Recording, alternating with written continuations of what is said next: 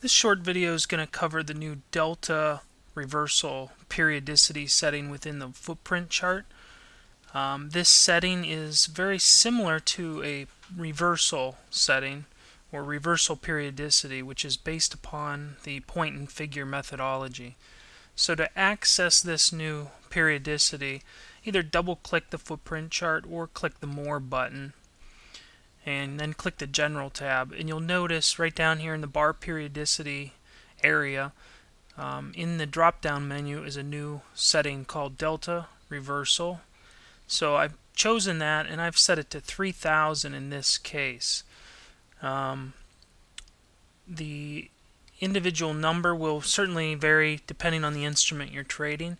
This is the S&P E-mini that we're looking at so 3000's in the vicinity of a decent number, uh, but I would certainly recommend experimenting if this is um, a periodicity that you would be interested in.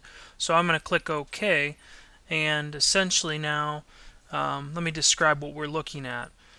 Notice, just like the reversal charts or the point and figure based uh, charts that the footprint can be displayed with, you also see these up and down or red and green triangles at the top of each column or bar.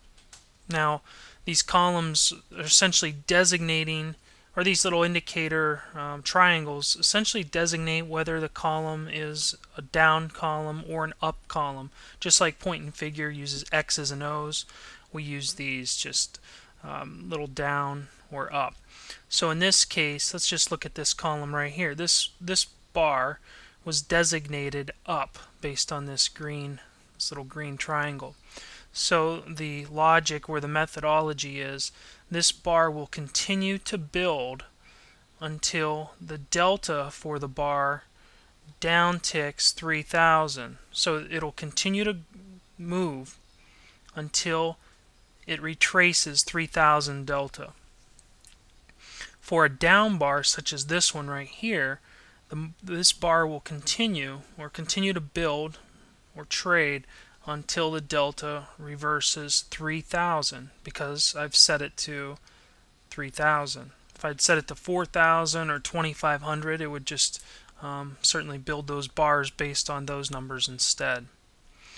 Now let me just jump back one day and we'll look it, the idea here is to catch some of these longer or bigger swings in the in the market where you have um, significant momentum and order flow in one direction. This was a rally yesterday afternoon, and you can see, you know, it, it caught the breakout nice and kept you long um, a majority of the move up until the market downticked or reversed 3000 delta. That's when this new bar was created.